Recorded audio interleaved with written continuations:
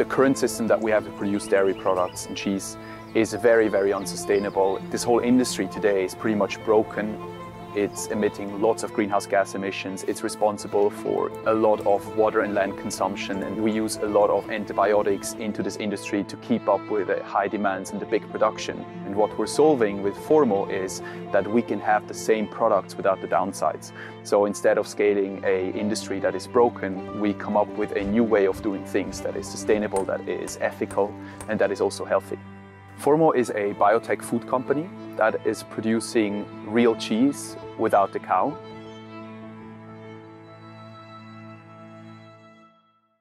Spending time with the family around food was really one of the most beautiful things we did as children.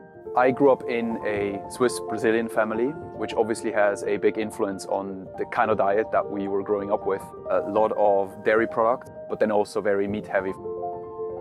Cheese is an amazing product.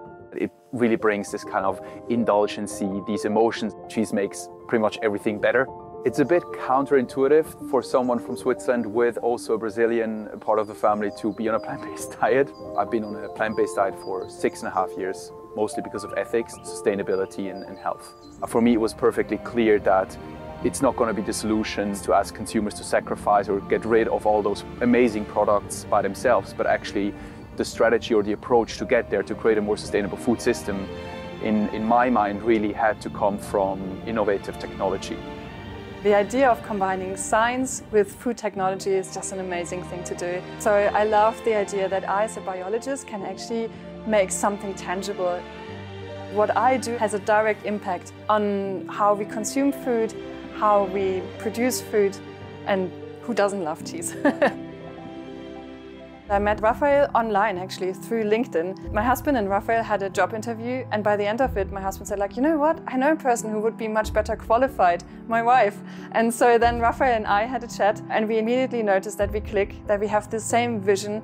Formo is a biotech food company that is not like the solutions that you would find today in the market that are plant-based, so based on you know cashew, coconut and so forth.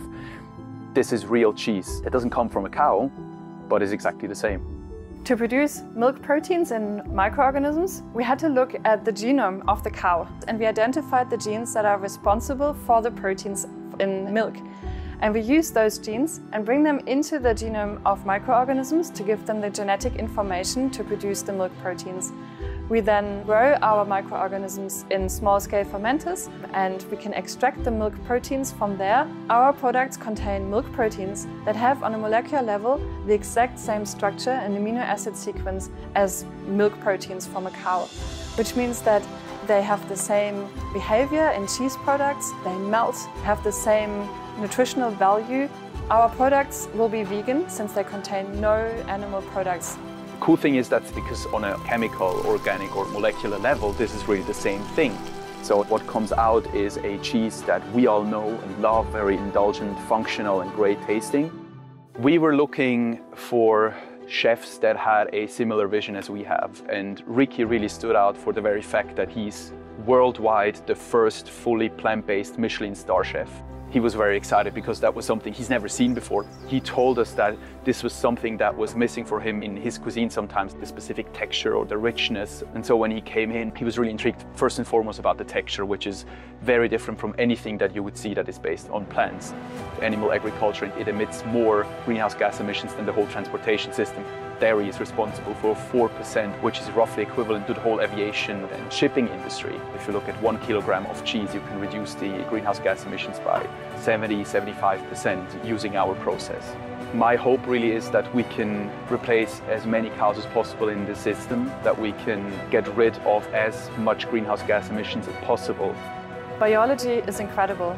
We can build a better world by using nature. I'm Britta and I'm co-founder and Chief Scientific Officer of Formo. My name is Raffael Wohlgensinger. I'm the CEO and co-founder of Formo.